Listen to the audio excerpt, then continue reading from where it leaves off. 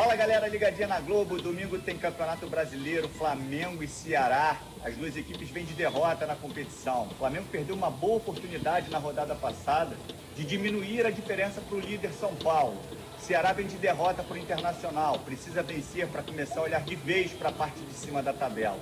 É domingo, na Globo, logo depois de temperatura máxima. Futebol na Globo, aqui é emoção.